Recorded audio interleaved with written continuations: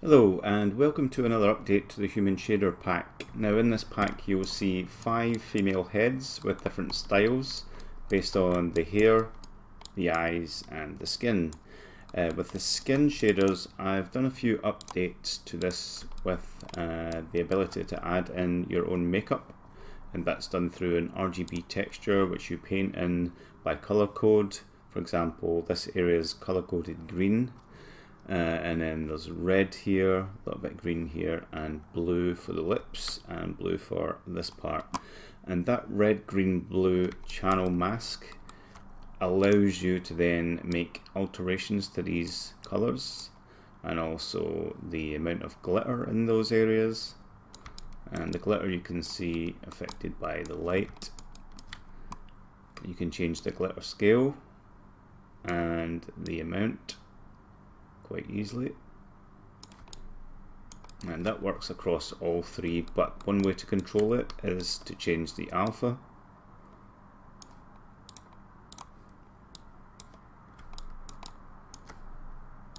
Let's bring the alpha down if you want less glitter. And you can use this overall if you wanted to give glitter to the whole face.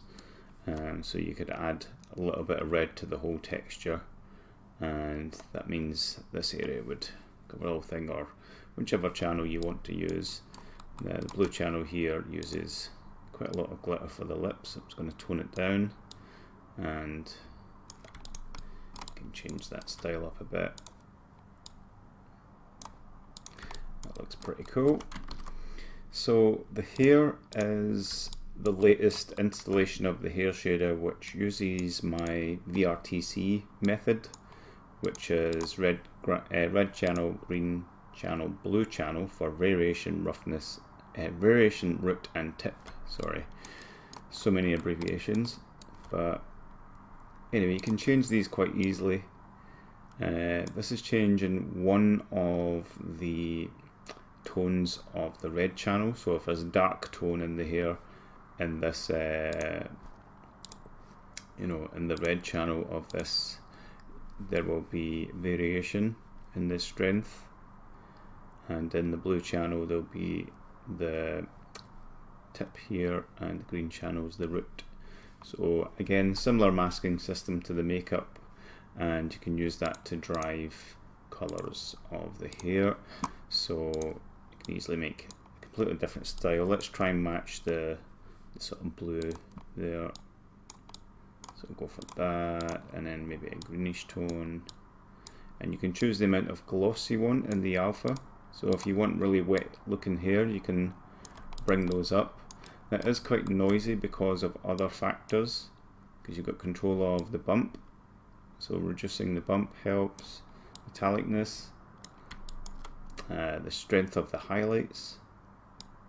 You can tone those right down and any sort of noise and spread here. So the gloss has really got a heavy factor to a lot of this, so you want to tone it down. Not quite the green I'm after just yet.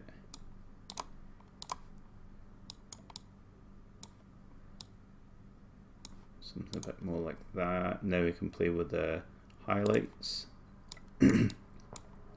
So let's so go for similar color highlights and increase the strength of those.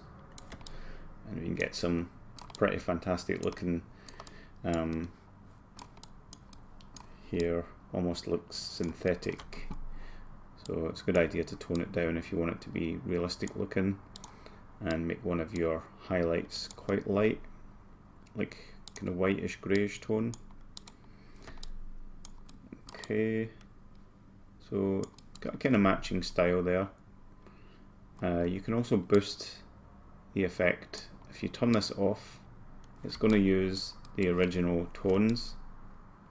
And you see it's already got quite a good um, amount of control with that. You can also control the, the root here. So let's make it kind of bluish to bring out our eyes.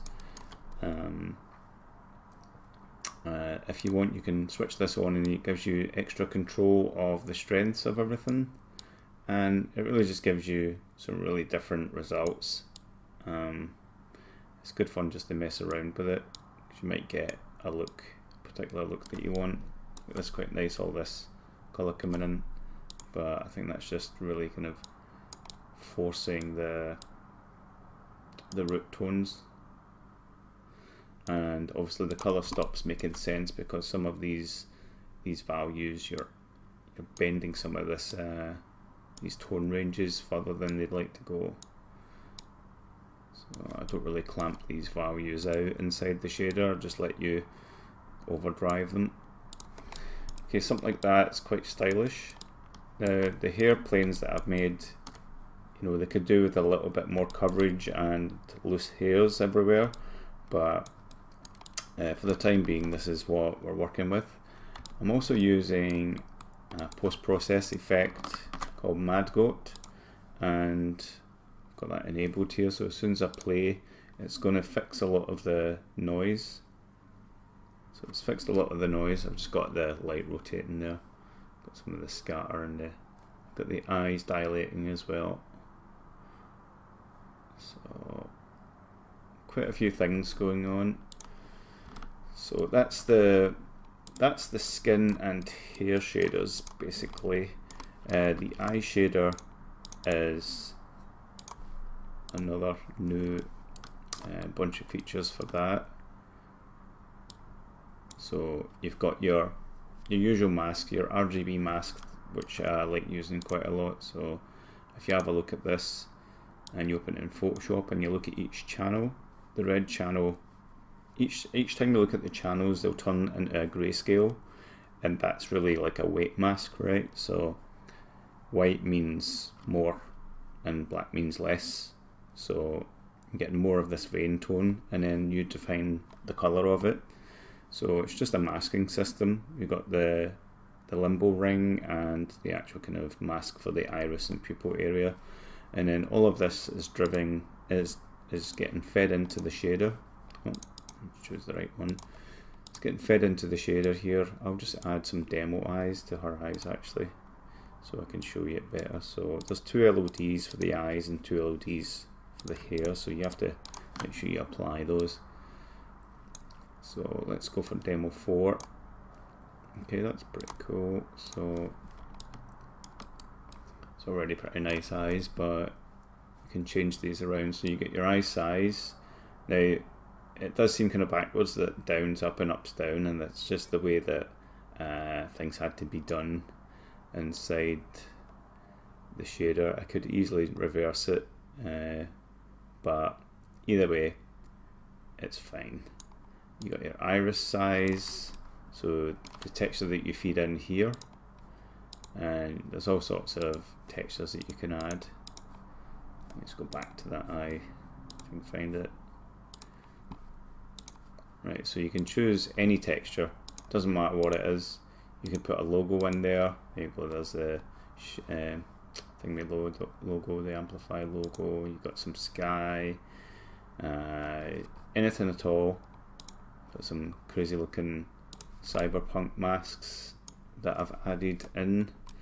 I say masks, iris masks. Now you define the the colours and the strength through the caustic strength and the iris amounts here.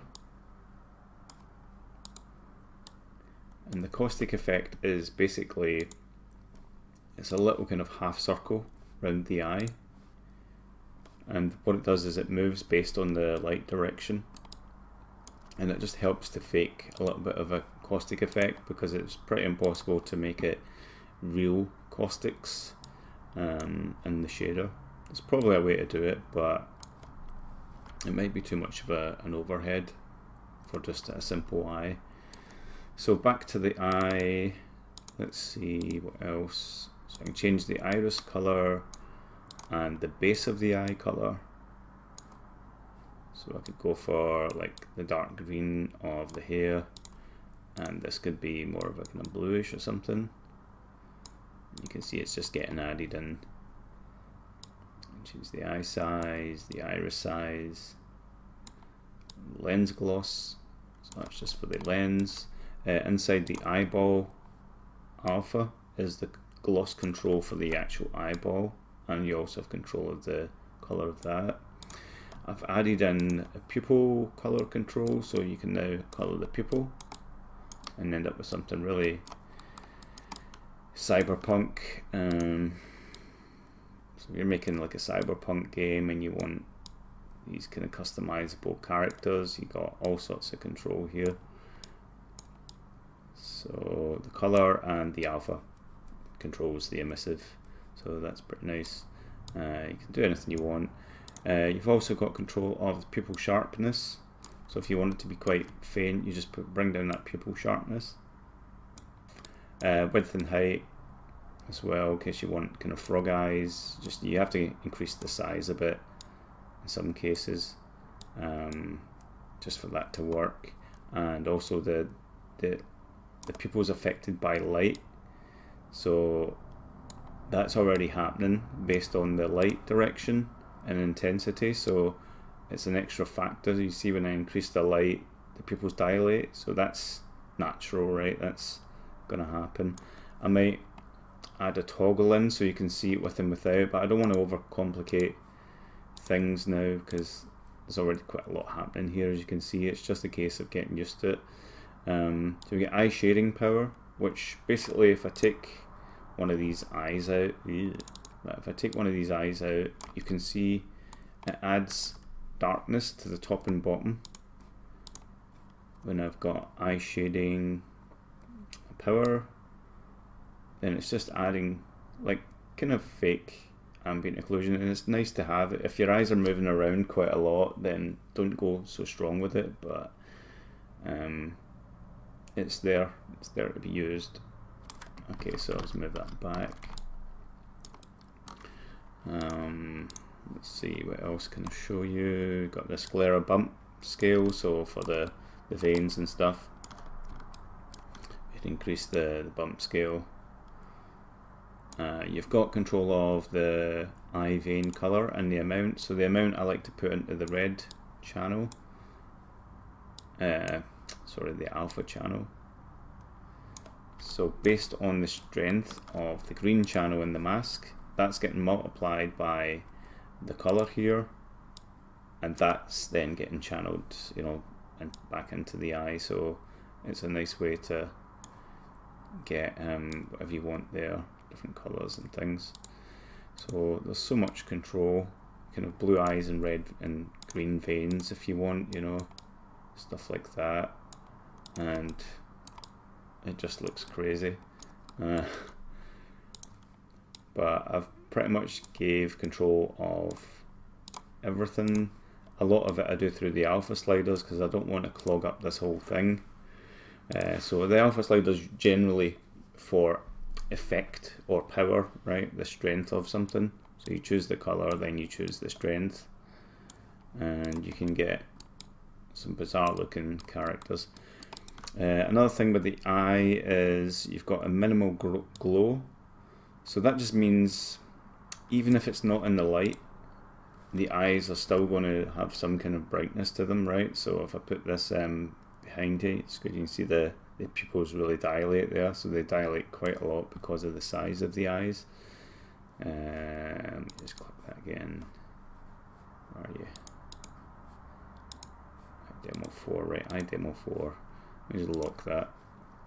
Right, so the eye size, so you've got pupil dilate, right?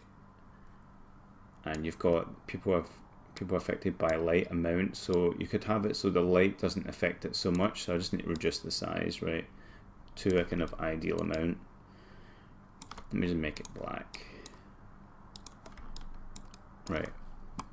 Pupil affected by light. So that's quite strong. It means it's, it's really going to affect the pupils. Uh, the pupil auto dilate factor is similar, but basically these are multiplying with each other. I could effectively turn them into one thing. Um, I'll look into that later because that seems to be a good chance to optimize that. Forget exactly why have the two. So pupil dilate factor. I think this is the amount that it dilates when it does and this is the amount that it moves by based on the light which is the same thing, I think. So I'm just kind of maybe just arguing with myself here, but anyway, kind of the same thing. So I'm just going to change this back to 1 because you can see you can also like get cat eyes, reduce the pupil size. So once you've got your sizing the way you want it, then you can rotate the light and you can see actually actually how much is getting affected. So the dilate factor, I could bring that down, affected by light down, right? So it's not getting affected by light so much. But if I bring them right up, you can see the dilation. Um, bring one down, one up. Right, nothing happens there. So they're multiplying with each other for sure. Pretty sure of it. Yeah, so it means I can I could potentially get rid of one of these in a, in a future update. So basically doing the same thing. That's another thing you can optimize. Sometimes when you're developing these things, you add you add something and you forget you've added it, so you end up adding another one, and it gets a bit confusing. But anyway, it's no big deal. So you've also got the push parallax, which is when you're looking at the eye let me just do it with a round eye because it works a little bit better. So I'll just change that back to one. Pupil size, dilate factor. Okay, bring it down a bit. So you see the eyes are really kind of pushing there. So that's the parallax mask. There we go. So I'm really pushing that those eyes back with the parallax mask. And you can create your own parallax masks and you'll see the effect they actually have. Uh, if you were to use like anything weird, you're going to get a lot of oddness. Right, let's find something that half works or is noisy. There we go, it's kind of pushing a lot of things. Um, it happens to be in the middle of the texture, so so it's got to be the image that I've supplied. So that's just called um, pupil, pupil or iris. Okay, what it's called? Now. Something mask, parallax mask, para, okay. Right, so that's used to help drive the positioning of the eyes, pupil, the pupil of the eyes. It just does the distortion so when you look around you can you can change that. And you can push it a bit more at the back if you want or not. So you can you can push it and pull it in various ways and that's quite nice control you can see how it looks at different angles right so she's looking very stylized um, got the minimum glow quite low. You've got eyeball micro scatter. Uh, affects normal or other things, right? So you got this little micro scatter and it's it's hard to see when everything's so bright. Um, so eyeball micro scatter.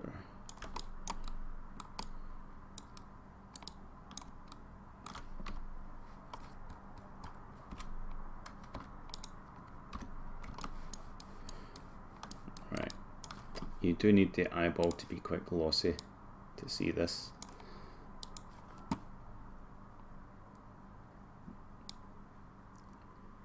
So it's, what it's doing is just creating a little bit of noise in the eye. Um, and it also, you can sort of see it there as you move it around. Does it affect the gloss map or does it affect the normal map? And it's just a way of getting some subsurface scattering in the eye. Uh, you've got the sclera bump scale, so between those you've got control round about the eye as well if you need it. And you can see there's a little bit of metallic looking thing going on there, so I'm just wondering if there's a metalness, there's a metalness mixer here. So one controls the, so it's based on this, right? It's based on this. So you get red, green, blue. Red is the lumbo lim was it limbo ring. Okay, so we put that zero and green is the the eyeball. But it's not getting any metal and blue is the actual iris area. So they're just additional things if you need them. Most of this stuff you wouldn't really need. It's, the defaults are pretty nice. The you know the shading and stuff is it's all good to go. Um, so let me just change the eye vein color amount back to like dark red. The eyeball back to some kind of white. And the glossiness is stored in here.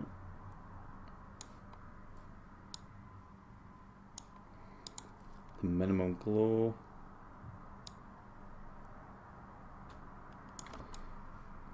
Okay, and I just check the check everything with directional light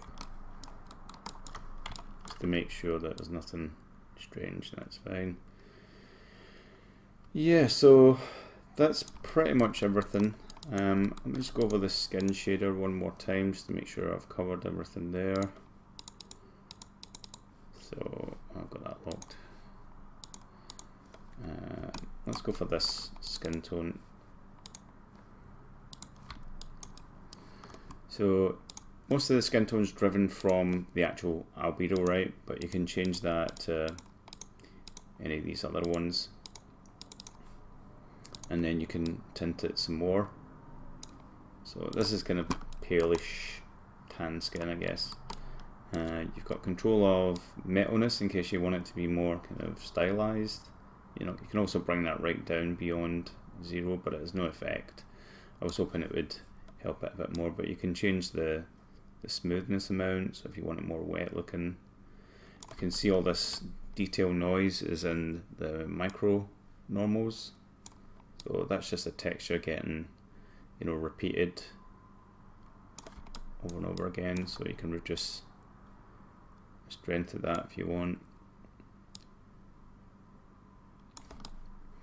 And you got everything about the the SSS up here so you can increase the strength and you know the color and stuff.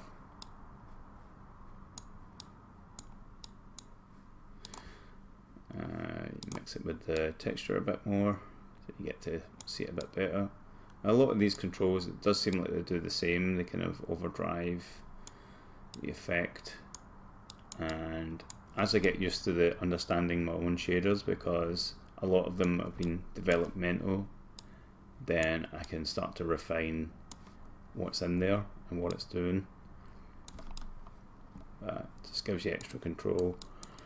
So let me just move this point light around and see if there's any switched on. Is it switched on? Just needs to be more intense. And just the directional light. So you can imagine this is like a nighttime scene. These chicks look pretty, pretty funky, uh, cyberpunky. And the hair's looking pretty nice. A little bit metallic in some places, like this one's not got a lot of shine to it. And it's easy enough just to go in and um, and add some shine. You can either do it through the gloss here. But you see it's got a different effect. It's more of a reflective effect or wet look. Uh, and that's for both these. So the best thing to do is go into the highlight control. Um, the only thing with the highlights is they depend on the directional light having a little bit of strength in it. So just be wary of that. Also, you'll have to increase the, just get it, I have to increase the, the strength of the actual color here. So let me just try a few things. Strength, strength, and spread and things. Noise power, power.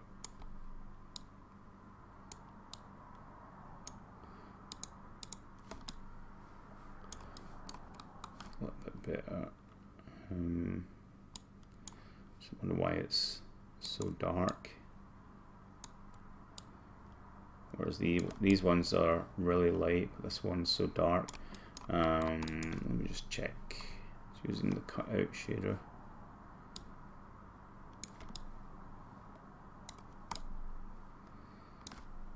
And this is using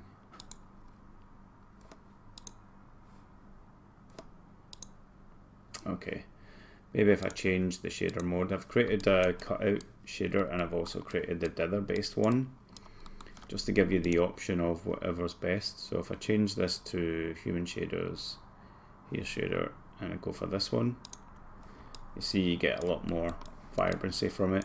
And I think it's because um, of some shader graph thing. In fact, let me fix that real quick so that won't take two minutes.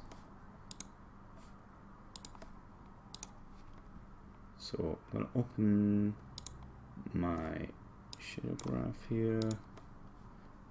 And if I change this to okay maybe opaque.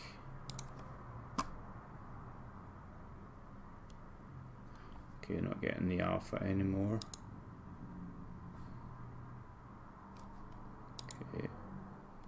um, cut out.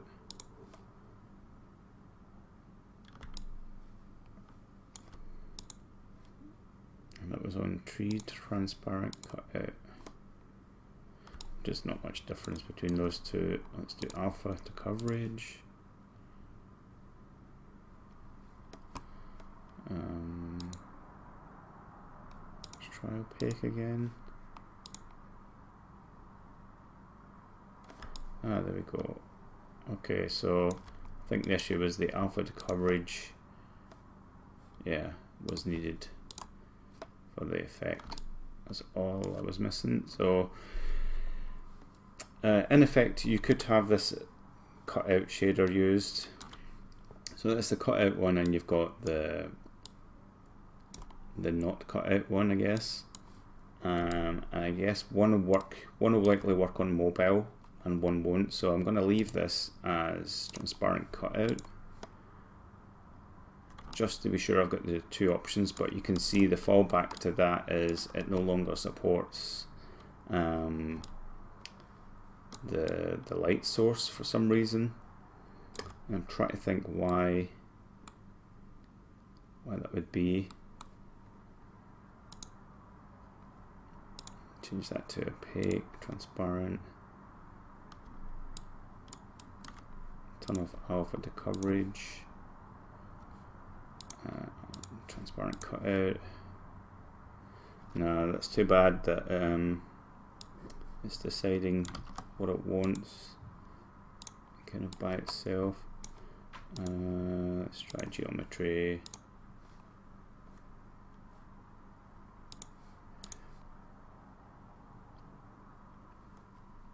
Okay, so it's definitely something to do with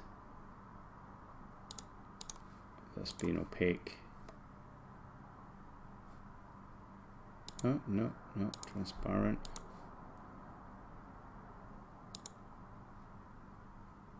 Opaque, transparent, alpha to coverage. So the render queue might have something to do with it.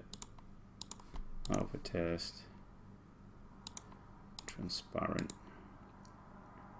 Now you just need to watch that the transparency works with everything. So one of the reasons I use cutout is because with transparency it's easy to get defects when you're using post-process. So for example, if I was to add some post-process stack here, I've got one on it, but check it's got ambient occlusion, yep, just check. Sometimes you get defects from it the light back on quite high.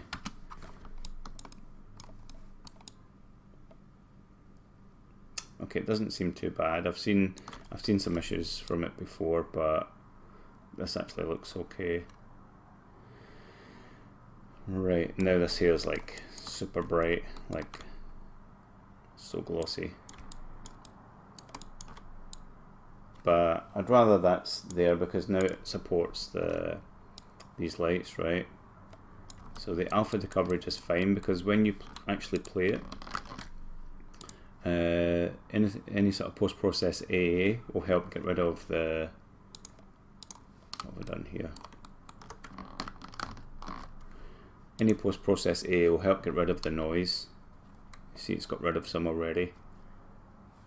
And you can change the settings of that. So I take that one off, do it two times, you can see some weird noise here. but I always find four times SSAA is nice. And even if you've got some post-process on uh, anti-aliasing on in the post-process you can get rid of some more. Uh, and you can turn off MSAA if it helps as well. Doesn't do it and in this case. I think it's getting overridden. Um, by the MadGoat one but that's pretty much let me just save that out okay that's pretty much that. Um, I'm going to tone down this here, then I'm going to call it a day with the video. Sorry this has been such an extended video, but it is a big pack, and I do want to cover everything in one go. Um, I've done quite a lot to the shader over time, and there's a lot more you can do with it. Uh, if you need help customizing your characters, just get in touch. I'm happy to take your character and you know get my shaders working for the hair, get the skin working for you. Uh, more than happy to do that because it helps me sort of research things a bit as well and understand your workflow so that I can then refine the shaders to adapt to uh, your workflow. But this this seems to be like the overall sort of way forward. What I'm doing here. Um, change the strength, that's just way too high. I like this, this kind of look though, but it's just too strong. So I'm just decreasing the strength, that's quite nice. I want it just to complement the eyes and lips and stuff here. Right, uh, this one's mega.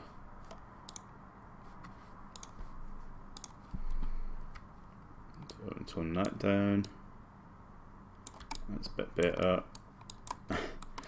uh, you know who this one looks like, right? Anyway. Can't say those names. Not allowed to. Uh, okay. I'm going to change the... That's the skin. Well, it's quite nice smooth, actually. Oily. Very oily. It's almost like makeup. It's quite a nice effect. And you can sort of make it more metallic as well. I like that. It's almost like a mannequin doll but you can make the skin very oily. Uh, so I'm going to change this one so that it's not as strong up there. Um, I guess I could tone these down. They're just too too vibrant. Uh, that's quite nice. Um, Blondie here's got really golden hair.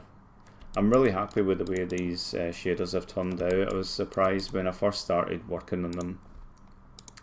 Uh, it was a blind alley and I was trying a lot of things that I'd read up on, not really understanding it. Uh, anisotropy, yeah. I end up just, I found ways to make convincing hair just by, you know, doing things to the normal map, like taking the green channel and adding and subtracting from it helps. So that pushes things around but then to make it more realistic you have to get the light direction and the normal direction of the the, the mesh and then do a lot of mixing in, internally. Uh, here's the issue. You can see when using the, the post-process AO you can see it completely ignores the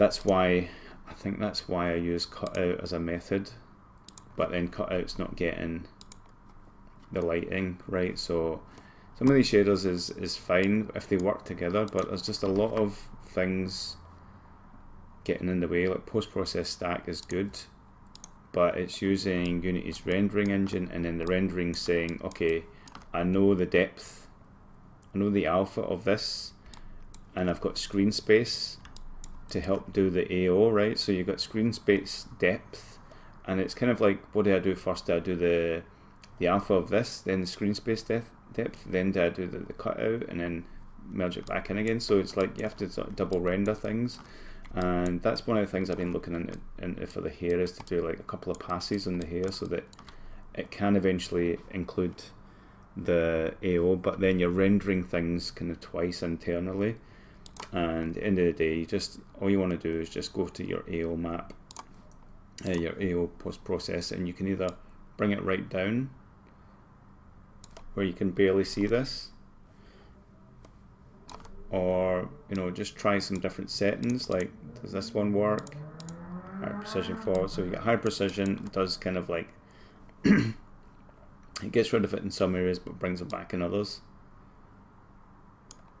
uh, sample count low go go for low uh, down sample turn that one off yeah you can see it's like it's completely ignoring the the fact that that's there. Now with this one it seems fine. It seems fine with this one. So I'm to have a look, let's see what one that is. That's using Shader 2 VRTC cutout and this one's using okay so it's the cutout one's actually better so that's kind of weird because I'm getting the same effect from these hairs. So I can basically just change this one. Save you guys tripping up on these shaders and stuff. You can just copy and paste and throw in your own stuff. Um, so that would be here shader 2 VRTC cut out. Try that again. Is that that one or is it yeah cut out? Excuse me. Oh no, that one's come back. It's confusing. did that change?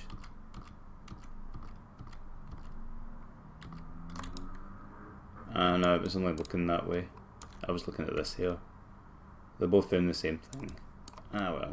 Right, so ambient occlusion is a little bit susceptible because the order it passes everything that's having to do a depth sort for the hairs and work out what it needs to get rid of pixel wise. The screen space, it's looking at the depth and going, okay, I know what the depth is based on the actual meshes, but I don't care about the actual uh, alpha values here. So that's the drawback when you're using post-process screen stuff uh, it's, it's limited to what it can do. So you will get these little defects now and again. I'm going to try one thing.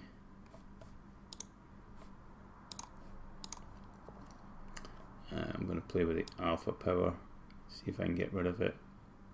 Um, see it so it doesn't matter the alpha power it's looking at the actual mesh. If I was to choose like uh, selection wire right you can see it's it's this line here of the mesh.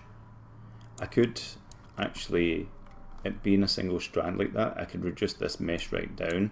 You see I've not done very much optimization on this, this mesh because it's my first one and I'm learning from that. But that would obviously help reduce this. You're still going to see it, but if I could get it like almost perfect to the strand, then that would help because um, you don't really see it so much anywhere else. But yeah, that's one of the, the little nuances with, with using this. I'm just going to choose all these and choose here shader. I'm going to use VRTC to see what I get. And then I'll use here shaders, shader do VRTC cutout right? Because I want to just go into that cutout and return it back to the way it was with um, transparent cutout and I know I'm going to lose that light. See I lost the blue light there. Uh, and if I change this to turn off the after coverage. Uh, where's my where's my cutouts opacity mask is disconnected so I need this back in there. Okay. That's what I want and now it's just a case of changing the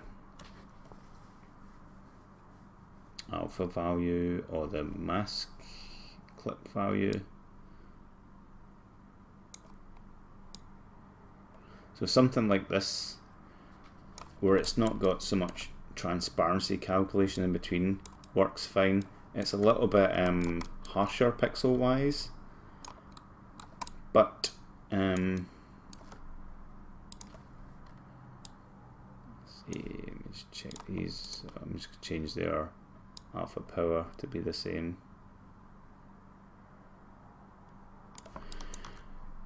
So it's a little bit harsher pixel wise, but when you when you play the game with post process uh, anti-aliasing, it's not as bad. Some cases it is, some cases it isn't, but we'll go for that. And you can see it's it's not too bad, right? Uh, it can be noisy depending on some of the other factors you've got going on in, in the hair. But otherwise, point light won't work with that mode. I'm not too keen on it. I prefer the other one. I'll sacrifice AO to be a little bit defective now and again until you know Unity or someone comes up with a solution. I'm going to change these back to the non-cutout version. So human shaders here to VRTC. Right, I just like that softer look. That's all, and I can bring this right down. Right, I've got yeah, I've got the little alpha thing happening, and uh, the so you can see it like clearly there the ambient occlusion sort of fine with it. But end of the day, everything's going to be in motion. So, you know, as this is moving around, yeah, you've got the, the ambient occlusion kind of moving, but you see it's like it almost goes away there, certain angles, because it's got nothing behind it anymore. So you're only really seeing it in certain cases. Like you see it a little bit there against skin. I'm just going to check this skin actually, see if I can do something with this skin. So there's things you can do, like you can change the from shader, geometry, uh, alpha test, and transparent. See that's that's now fixed that issue, but now the face itself doesn't receive any shadows. So there's loads of like drawbacks and I'm constantly going around in circles with them. And if anybody has these issues, uh, don't say I've not told you because all these things are subjective to the engine. And I've seen I've seen things like this crop up in other engines. Don't get me wrong, there's no engine's perfect, but there's there's been a lot of workarounds that make things better and I'm hoping that when maybe I decide to switch to like Unity 2018 HDRP and I, I, remake all these shaders, then it's going to be you know a little bit easier to get the, the, the look that I want. Uh, I'll be switching to shader graph as well. Change this micro detail, it's a bit over the top. Um,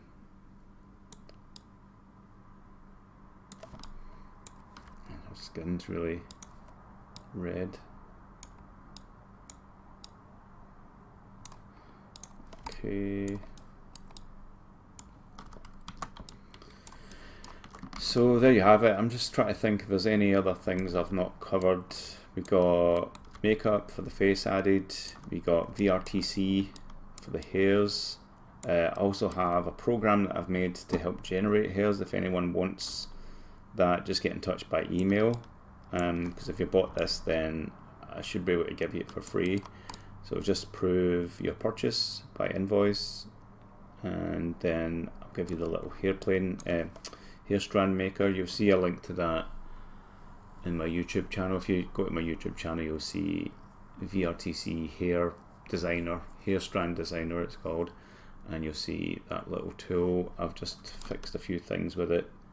Um, but yeah that's all good so thanks for watching this very long video sorry it went on and on and on but I just I know that I have to explain things until I'm literally blue in the face or white in the face. Um, thanks for watching. Cheers guys, bye.